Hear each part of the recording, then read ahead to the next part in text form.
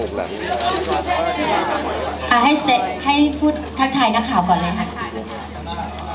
일단 소개 부탁드릴게요. 네 안녕하세요. 어, 오랜만에 왔습니다. 태국에서 또 공연 멋지게 하러 온 솔로로 데뷔한 네 솔로로 예, 시작한 김영준이라고 합니다. 반갑습니다. ค่ะไม่ได้มาเยี่ยมเมืองไทยนานมากแล้วนะคะ แล้วเขาก็กลับมากับอัลบั้มโซโล่ใหม่นะคะ คิมยองจุนค่ะ ก็รู้สึกเป็นเกียรติอย่างมากนะคะ แล้วก็รู้สึกดีใจมากนะคะ ที่ได้เป็นส่วนหนึ่งที่สามารถเอ่อไปช่วยเหลือคนเหล่านั้นนะคะ ก็อยากให้ทุกๆคนเนี่ยเอ่อเอ่อชมเวทีของคุณคิมยองจุน แล้วก็อยากให้แบบสนุกสนานนะคะ แล้วก็อยากให้เอาพวกความเอ่อเศร้าอะค่ะแบบ ให้ลืมความเศร้ากับเพลงสนุกสนานของคิมคุณคิมยองจุนนะคะ 네.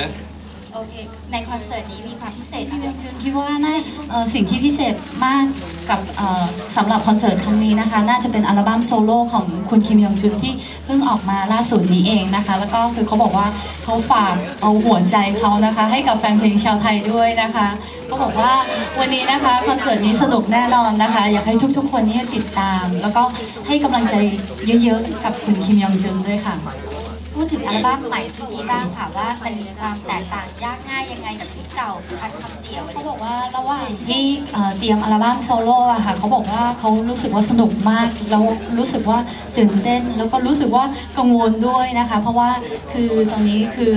ต้องแบบมาร้องเพลงเต้นอะไรคิดแบบเป็นแบบสไตล์ของตัวเองอะค่ะ เพราะว่าตอนนี้เขาไม่ได้อยู่ในวง WS 501ใช่ไหมคะเขาก็เลย กังวลว่าแบบทุกคนจะชอบเขาหรือเปล่าในอัลบั้มเดียวเขาก็เลยรู้สึกว่ากังวลมาก แต่ว่าคือตอนที่เตรียมอัลบั้มมาค่ะเขาบอกว่าสนุกสนานมีแบบเหตุการณ์สนุกสนานมากอะค่ะเขาก็เลยบอกว่ารู้สึกว่าแบบดีใจที่อัลบั้มเขาออกมานะคะขอบคุณครับครับก็คือก่อนที่คุณคิมยองจุนเขามาเมืองไทยอะค่ะเขาบอกว่ารู้สึกว่ากลัวอยู่นิดๆนะคะ เพราะว่าคือนี่เป็นครั้งแรกที่เขามาเยี่ยมเมืองไทยแบบคนเดียวนะคะเขาก็เลยบอกว่า กลัวว่าแบบจะไม่มีแฟนคลับนะคะ แต่ว่ารู้สึกว่าแบบพอมาถึงเมืองไทยอะค่ะเขาบอกว่ามีแฟนคลับเยอะมากนะคะ ที่คอยให้กำลังใจกับคุณคิมยองจุนนะคะเขาเลยรู้สึกว่าดีใจแล้วก็อยากจะบอกแฟนคลับทุกๆคนนะคะ ว่าขอบคุณมากๆค่ะคำถามสุดท้าย มีแฟนๆเนี่ยรอที่จะมีที่ของเราจะมีโอกาสได้ยินที่ไหมหรืม่แล้วก็ให้ฝากสลับค่ะก็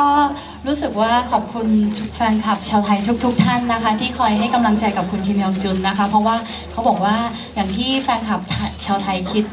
ว่าคุณคิมยองจุนเนี่ยเหมือนเป็นไอดอลเขานะคะ คุณคิมยองจุนบอกว่าแฟนคลับชาวไทยเนี่ยก็เป็น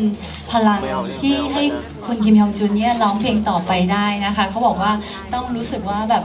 เขาบอกว่ารู้สึกดีใจมาก แล้วก็คือแม้ว่าคราวนี้นะคะเขามากับศิลปินหลายวงนะคะ แต่ว่า